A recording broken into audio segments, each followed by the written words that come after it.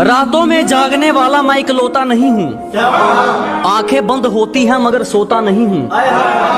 के रातों में जागने वाला मैं इकलौता नहीं हूँ। आँखें बंद होती हैं, मगर सोता नहीं हूँ। बस मेरी यही बात मुझे औरों से अलग बनाती है। मैं तुम्हारी तरह हर किसी का होता नहीं हूँ।